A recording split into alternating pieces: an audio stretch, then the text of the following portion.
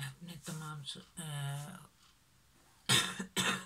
Sorry मैं अपने तमाम दोस्तों को खुश आमदीद कहती हूँ। आज मैं आपकी खिदमत में ये डिज़ाइन लेके हाजिर हुई हूँ।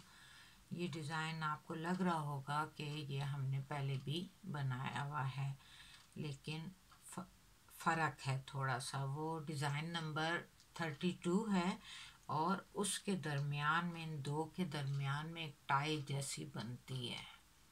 लेकिन ये बग़ैर उस टाई के है और बहुत जल्दी बनता है और खूबसूरत भी लग रहा है।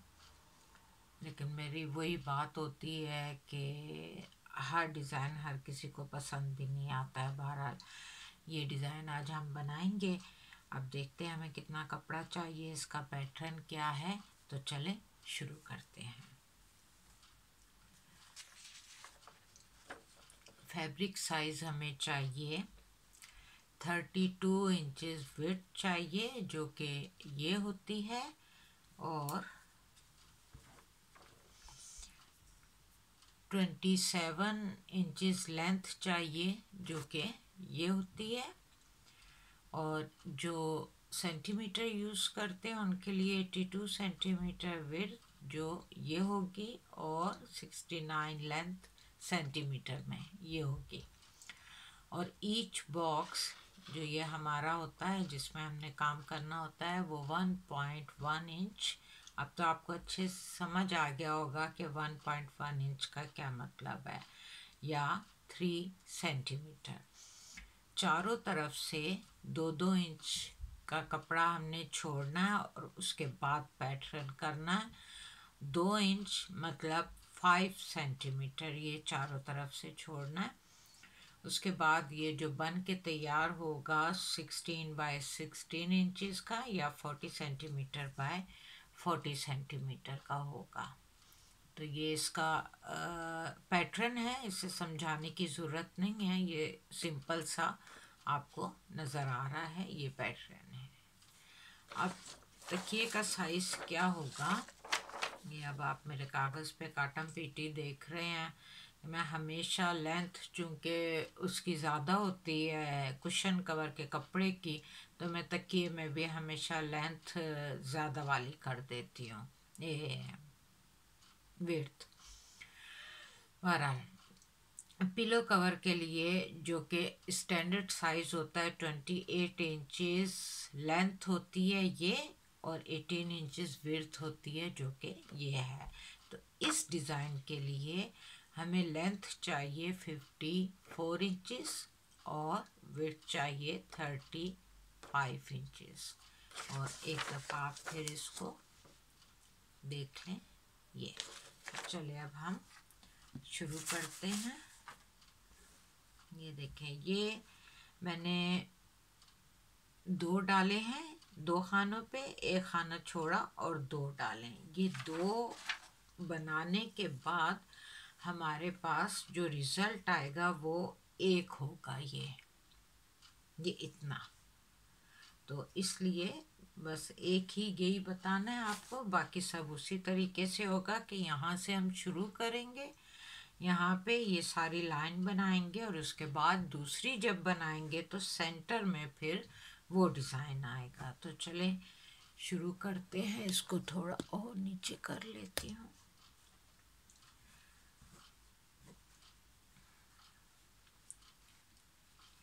ये तो आप सबको इजीली समझ में आता है कि किस तरीके से और सिंपल है।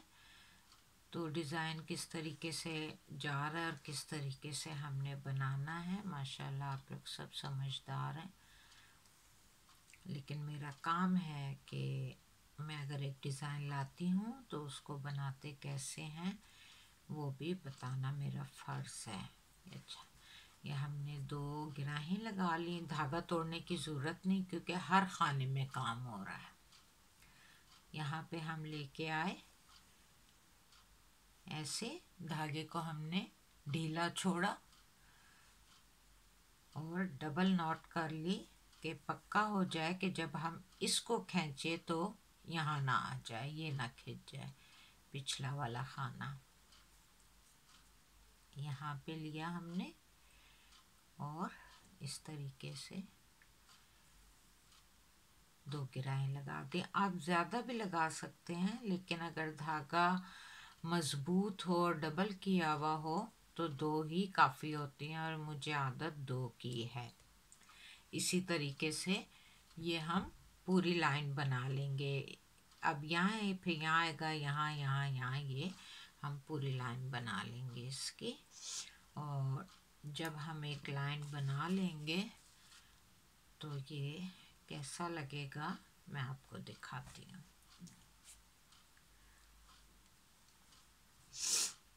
ये पहली लाइन जो हमने ये बनाई है ये जब हम इस तरीके से इसको पूरी को ख़त्म कर लेंगे फिनिश कर लेंगे तो ये देखें, ये सारे खाने बने हुए हैं। तो इसको इस तरीके से, ये इस तरीके से डिज़ाइन नज़र आएगा। अब हम इसको शुरू करते हैं दूसरी तरफ़ से। ये यहाँ से यानी कि दूसरी ए, बीच की एक लाइन बिल्कुल खाली है और उसके बाद फिर हम इन दो पे काम करेंगे। तो अब हम ये बनाते हैं। ये बनाने से हमारा डिज़ाइन फिर अब वाजिया होना शुरू हो जाएगा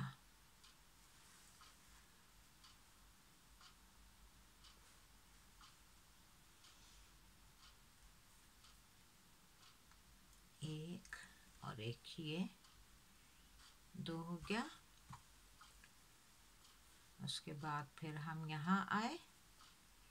धागा ढीला छोड़ के तो डबल नॉट लगा ली और इसके हम कोने पे आ गए और फिर इसको हमने इकट्ठा कर लिया।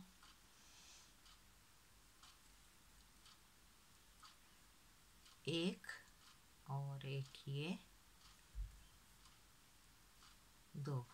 अब ये अब अगर हम ये चला रहे हैं और आपको लगता है कि ये वाले धागे ए, कम ज़्यादा है कहीं खिंचाव है तो पैटर्न अपनी जगह पे बैठा रहे तो आप इन धागों को बाद में इस तरीके से काट भी सकते हैं। ऐसे करके ताकि जो डिज़ाइन है वो अपनी जगह पे आ जाएगा। अब हम फिर इस तरफ़ आए। यहाँ से हमने लिया। धागे को ढीला छोड़ा। डबल नॉट लगा दी ताकि खींचे ना भी इस कोने पे आए और इस तरीके से हमने खींचा और इसको अब हम इकट्ठा करके तो बना लेंगे। दो गिराहें लगा लेंगे। एक और एक ये। दो। अब ये देखें, हमारा डिज़ाइन वाजिया होना शुरू हो गया। इस तरीके से, या आप इस तरीके से इस रुख से भी देख लें कि ये हमने बनाया है। और ये हमारा डिज़ाइन अब वाजिया हो रहा है। तो इसी तरीके से हमने पहले ये लाइन बनाई है और उसके बाद फिर एक एक लाइन खाली छोड़ के ये बनाया। तो हमारा डिज़ाइन इस तरीके से आ गया। ये देखें। ये इस तरीके से अब ये बनना शुरू हो गया। और ये बनने के बाद